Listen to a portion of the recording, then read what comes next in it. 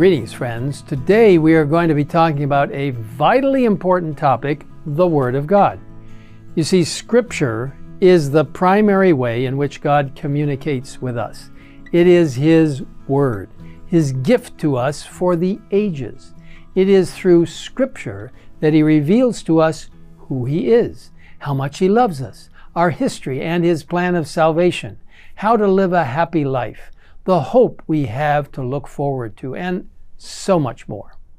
Truly, as the psalmist said in Psalm 119, verse 105, Thy word is a lamp unto my feet and a light unto my path. When we open our Bibles to the Gospel of John, we read this marvelous statement in the very first chapter and verse. In the beginning was the Word, and the Word was with God, and the Word was God. What a beautiful description of Jesus, the Son of God and the Son of Man, a perfect blending of the human and divine.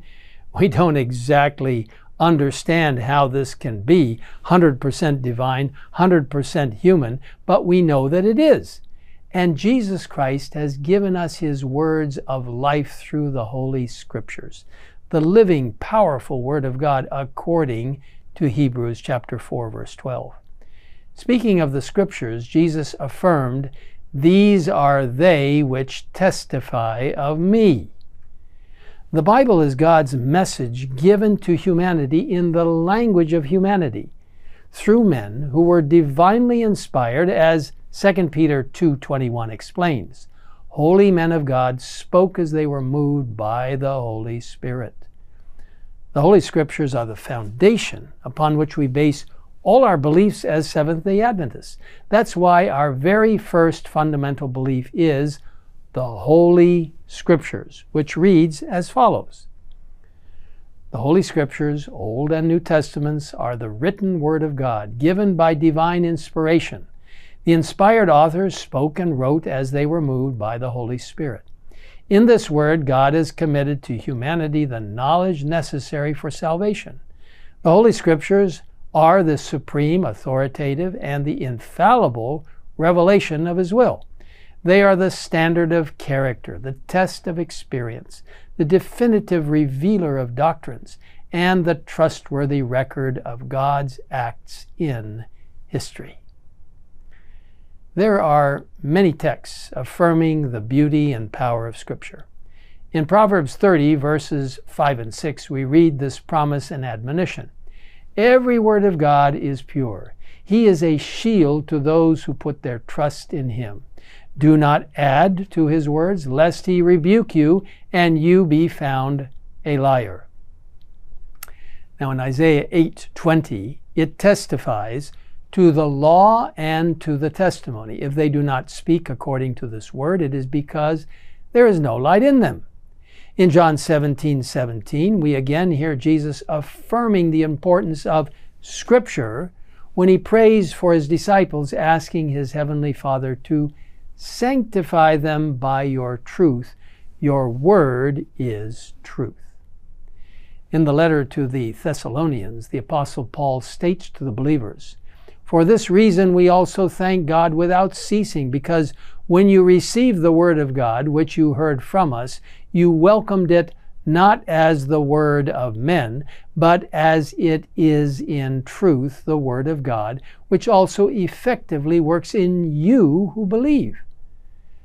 Yes, friends, the Bible is truly God's Word to us revealing His truth and drawing us closer to Him as we follow His divine counsel outlined in its precious pages. But to really hear God speaking, we must approach the Scriptures believing that they are indeed the supreme, authoritative, and infallible revelation of His will.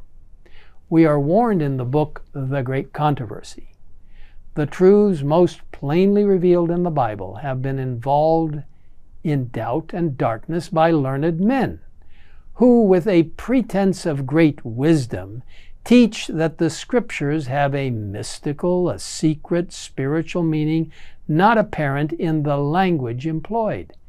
These men are false teachers. It was to such a class that Jesus declared, Ye know not the Scriptures, neither the power of God.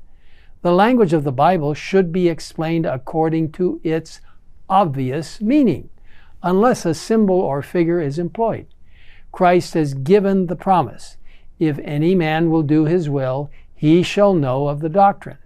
If men would but take the Bible as it reads, if there were no false teachers to mislead and confuse their minds, a work would be accomplished that would make angels glad and that would bring into the fold of Christ thousands upon thousands who are now wandering in error. Sadly, today, we see in some places a lack of understanding the Bible and how to interpret it, as well as actual antagonism against the very Word of God. Nevertheless, the Seventh day Adventist Church believes in the authenticity and authority of God's Word, the Holy Bible, and it is to be applied to all people, everywhere, for all time. As indicated in its officially voted documents or document, Methods of Bible Study, the Church accepts only the historical, biblical, or historical, grammatical method of interpreting Scripture, allowing the Bible to interpret itself line upon line, verse upon verse, precept upon precept, through the power of the Holy Spirit. So, friends, I need to warn you that today we are under attack by the historical critical method and other humanistic methods of biblical interpretation, which are not God focused methods.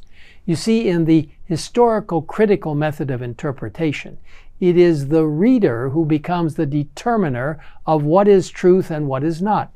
This is a very unreliable way of reading God's holy word because, as Jeremiah 17:9 indicates, the human heart is deceitful above all things and desperately wicked.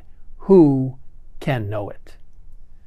I urge you to allow the Holy Spirit to lead you in understanding Scripture.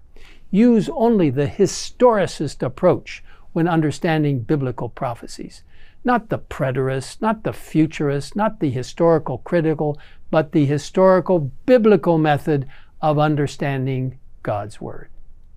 In the book Spiritual Gifts, Volume 3, we read, God has given sufficient evidence upon which to base faith if he wishes to believe.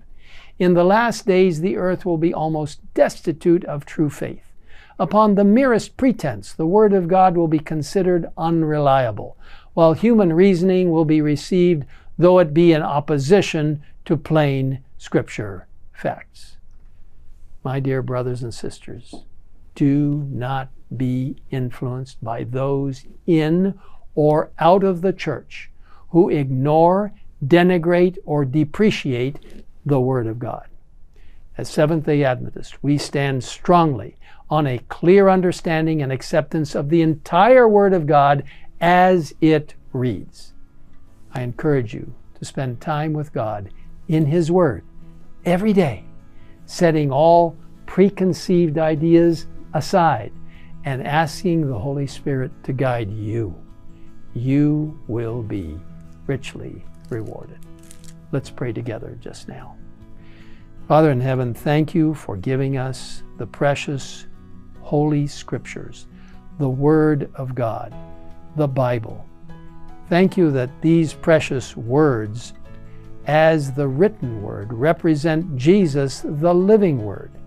Please bless each of us as we study and as we read this precious instruction to us, understanding that we are to allow the Bible to interpret itself through the power of the Holy Spirit and not us placing our own preconceived ideas on top of the Bible to make the Bible say what it doesn't say. So, Lord, we ask now that you will guide us in the study of your precious word. Thank you for hearing us, and thank you for giving us the Word of God the Bible. In Jesus' name we ask it. Amen.